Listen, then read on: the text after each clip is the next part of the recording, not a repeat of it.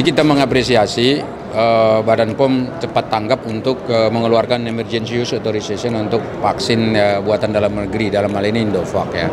Karena sebetulnya uh, sudah beberapa apa namanya waktu belakangan ini kita mendesak itu supaya pemerintah kita bisa melahirkan satu produk dalam negeri. Karena pada masa tingginya Covid kemarin itu kita justru mengimpor banyak vaksin.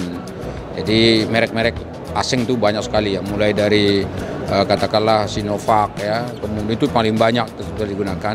Sampai merek-merek yang dari luar negeri seperti Amerika ya, uh, Pfizer, Moderna, ya, kemudian AstraZeneca dan lain-lain itu.